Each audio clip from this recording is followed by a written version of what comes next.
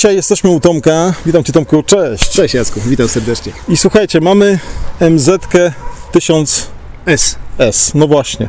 To jest e, ostatni, ostatni krzyk MZ-ki, prawda? Taki łabędzi śpiew. Łabędzi śpiew. No właśnie, ona była produkowana tylko w 2004 roku. Czy produkcja ruszyła z, e, w 2003 roku. Z- Motocykl sam był zaprezentowany na targach Intermot w roku 2000.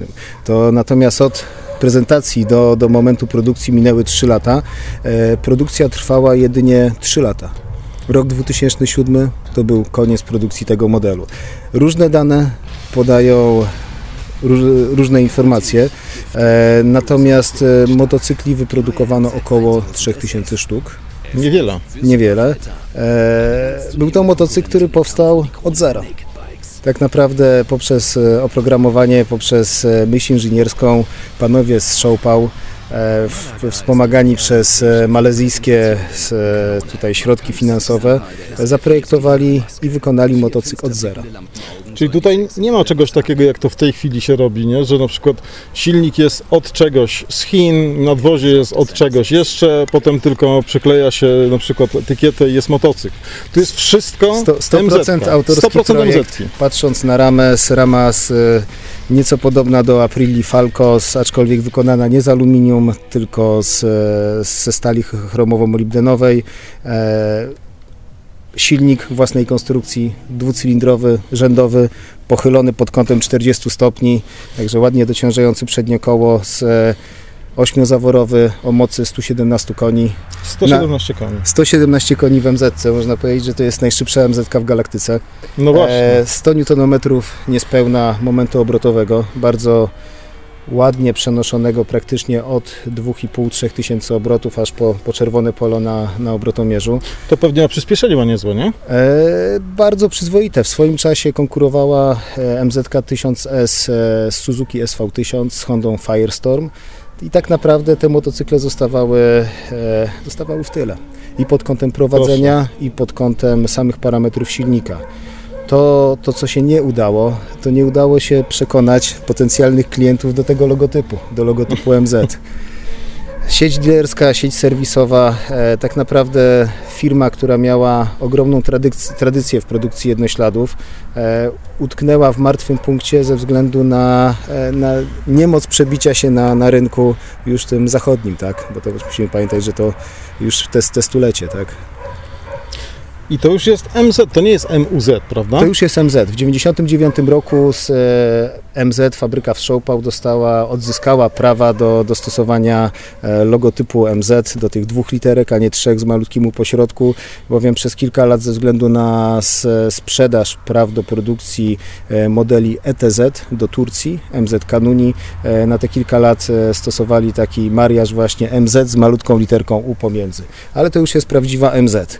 Prawdziwy jest własny silnik, prawdziwa jest konstrukcja ramy. Tylni wachlarz to praktycznie dzieło sztuki. E, tutaj na pewno na zbliżeniach będzie widać e, logotyp MZ naniesiony. Byli Niemcy bardzo dumni z tego motocykla. Stworzyli motocykl genialny pod kątem prowadzenia, e, z silnikiem o bardzo dobrej charakterystyce po, po pierwszym okresie, po, po usunięciu chorób wieku dziecięcego. Tak naprawdę ten motocykl we wszelkich testach zdobywał pierwsze miejsca. Natomiast no, nie chciał się sprzedawać. Koncern malezyjski e, wycofał się z interesu pod tytułem produkcja motocykli MZ. E, W 2007 roku zaprzestano produkcji. E, No i to był, to był koniec MZ-ki tak naprawdę. Czyli co, spóźnili się z nim po prostu trochę. Spóźnili się tak naprawdę pokazany e, prototyp, pierwsza przymiarka do tego modelu w roku 2000 to było wielkie wow. Te zegary to były takie atrapy, papierowe nalepki zamiast e, cyferblatów. Natomiast motocykl robił wrażenie. Sama stylistyka opracowana przez e, Petera Naumana, No tego właśnie. samego Petera Naumana, który zaprojektował F-117 e, samolot, tak? Myśliwiec. Pamiętamy, nie, niewidzialny dla radarów amerykański myśliwiec, e, to, to ten sam człowiek projektował stylistykę tego motocykla, tak? Czyli to nie jest przypadek, ta agresywna linia, ten, ten dziób z przodu. Zupełnie to nie jest No przypadek. E, Co więcej, w roku 2000 to było wielkie wow. W roku 2005, 2006 nieco ta linia zarysowana z tyłu, tu, tu już trąciło to końcówką lat 90. Za ciężki tył trochę. Za, stylistyka Tak. już trochę odjechała w inną stronę, aczkolwiek motocykl dalej się podobał, dalej jeździł bardzo dobrze. Ale dalej w konkurencji z markami znanymi, takimi jak, jak Honda, jak Suzuki, jak e, e, włoskie motocykle przepiękne, e, po prostu MZ nie miała siły przebicia, nie była w stanie przetrwać na rynku. Prosta sytuacja. Młodzieniec dwudziestokilkuletni chcący kupić motocykl sportowy, no i potem opowiadający kolegom, wiem, dziewczynie, koleżance, słuchaj, czym jeździsz, jakim motocyklem? MZ-ką. MZ-ka kojarzyła się z nieco siermiężną, wschodnią No tak. linią motocykli, więc to, to były takie drobne, drobne elementy, które spowodowały, że, że to nie pojechało. Czyli paradoksalnie nie w technice tkwiła ich słabość, tylko po prostu w samej marce, w tym z czym się kojarzyła. W samej marce te motocykle były kupowane przez pasjonatów. E, Ten konkretny egzemplarz to jest e, motocykl demowy e, z Austrii. Motocykl demonstracyjny, który był testowany przez potencjalnych klientów. Tak naprawdę przez kilka lat swojej pracy ciężkiej, jak to każdego motocykla testowego, e, przejechał raptem kilkanaście tysięcy kilometrów. E, Tych MZ podejrzewam, że w Austrii się nie sprzedało zbyt wiele. Z tego co wiem, to ten motocykl demonstracyjny też został odkupiony przez e, osobę, która z, miała cokolwiek do czynienia z tym miejscem, gdzie te motocykle były właśnie testowane, sprzedawane, więc to, to były osoby, które chciały mieć MZ, to, były, to byli e, użytkownicy poprzednich MZ-ek. Fani tej marki. Tak, dokładnie, którzy tak jak ja teraz po prostu zdecydowali, że takie można powiedzieć dzieło sztuki na dwóch kołach no, muszą mieć w garażu.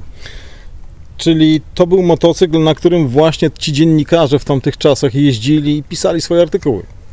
Tak, oni, oni je testowali z każdej możliwej strony. Co ciekawe, tych motocykli całkiem sporo sprzedało się w Stanach Zjednoczonych. O proszę. Także taki rynek naturalny dla, dla motocykli z dawnego NRD, później z Niemiec, e, jak Wielka Brytania, też był wspierany dość dobrze przez eksport tych motocykli do Stanów. Aczkolwiek w rankingu motocykli używanych, e, których nie powinieneś nigdy kupować w Stanach, ta MZ była bodajże na ósmym miejscu ze względu na Ojej. małą popularność, No sieć tak. serwisową, na, nie, nie bynajmniej nie ze względu na technikalia, bo to, to wszystko było dopracowane. Tak? Układ wtryskowy Sarzema, hamulce Nissina, e, przednie zawieszenie z, e, z upside down, z jakichś słusznych wymiarów. E, To wszystko było dopracowane, także te komponenty, które Niemcy opracowali samodzielnie, no to było naprawdę na, na wysokim poziomie, tak, z dopracowania i samej myśli inżynierskiej. Natomiast pozostałe komponenty były pobierane od naprawdę markowych producentów. No i najważniejsze, że silnik był na pewno w 100% dziełem konstruktorów wschodnio-niemieckich. Zaprojektowany komputerowo, także zaprojektuj i wykonaj, zrobione e, samodzielnie przez, przez inżynierów właśnie z fabryki w Szopach. Tomku, ty jesteś fanem marki MZ, nie? Powiedz mi, długo szukałeś tego egzemplarza, tego modelu? Bo na pewno miałeś taki plan, to nie był przypadek. O, ogólnie polowałem na ten motocykl ładnych parę lat. Te motocykle pojawiają się w Niemczech na, na portalach ogłoszeniowych ogólnie znanych, natomiast e, ze względu na sentyment, na, na podejście samych Niemców do, do marki MZ, te ceny są dosyć e, wysokie. Stąd pomysł, żeby skontaktować się ze sprzedającym w Austrii z takiego mniej naturalnego rynku dla tego typu motocykli. Wycieczka z kilkanaście, w sumie nie kilkanaście, kil- z 10 lat temu około, jest autem tyle leciwym z przyczepką, zapakowanie tego motocykla, włóczęga przez kawałek Europy i tak trafił tutaj. Podejrzewam, że to jest jedna z dwóch, może trzech MZ tego, tego typu w Polsce. Wiem je- jeszcze o jednym e, modelu Street Fighter. Tak, był taki model 1000 SF z malutką owiewką. Mhm, taką E, krótką. tak, o modelu 1000S w Polsce nie, nie słyszałem. Urody nie da się mu odmówić, nawet dzisiaj. Nawet dzisiaj podejrzewam, żeby gdyby go ustawić gdzieś na targach, to wiele osób uwierzyłoby, że to jest coś nowego. To jest fenomen. Ten Prawda? motocykl, gdzie, gdy pojawia się gdzieś w miejscu, gdzie są motocykliści, podchodzą, o, MZ, znów ją produkują. Także to jest to, że No on dalej, dalej jest aktualny. Ten, ta uroda z, e, jednak jest ponadczasowa. Jeszcze jak ten silnik brzmi, można go bardzo łatwo pomylić nawet z Ducati. Jak najbardziej. Układ rzędowy, ale wykorbienia przesunięte o 180 stopni, także No silnik dudniący. E, Te oryginalne tłumiki, które posiadam do tego motocykla zostały zastąpione przez układ wydechowy co bardziej przelotowy. Tych decybeli generuje zdecydowanie więcej, ale to jest, to jest prawdziwe dudnienie rzędowego twiru. Rozumiem, że ma w Twojej kolekcji dożywocie. To jak tylko sytuacja pozwoli, to jak najbardziej tak. Nie, nie noszę się w tym momencie z zamiarem sprzedaży. A jak jest z częściami do tych motocykli dzisiaj? Odpowiem nieco prze, przewrotnie. Ja, ja żadnych części tego motocykla nie potrzebowałem. On przejeżdża rocznie kilkaset kilometrów. Tak naprawdę z, ta technika schowana pod, pod tymi owiewkami jest całkiem dopracowana, więc elementy pod tytułem filtr oleju, tarcze sprzęgła, to wszystko jest dostępne. Tak? Ogólnie sieć sklepów internetowych w Niemczech zaopatruje wszelakiej, e, wszelakie modele MZ całkiem nieźle w części. E, aczkolwiek tutaj części mechanicznej takich zużywających się dużo, dużo nie potrzeba przy niewielkich nalotach. Tu jest napęd rozrządu łańcuszkiem, E, Napęd rozrządu jest z łańcuszkiem jak najbardziej. Z zębatym. Tym, e, tak. No to jest rozwiązanie praktycznie najnowsze nawet dziś. Przy przebiegu rzędu 20 kilka tysięcy kilometrów, który motocykl ma obecnie, to zakładam, że szybko wymiana nie będzie niezbędna. Tomku, bardzo Ci gratuluję motocykla i dziękuję Ci, że zechciałeś go nam pokazać. Jacko, dziękuję serdecznie i polecam się. Cześć. Uwaga, prosiłbym o ciszę. Dobra.